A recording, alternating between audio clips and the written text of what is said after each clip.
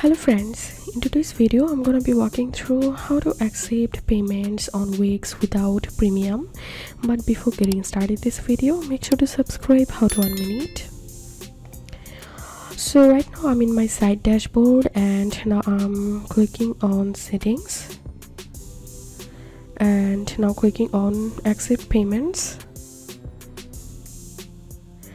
And uh, to accept payment without premium you have to select PayPal so click on connect.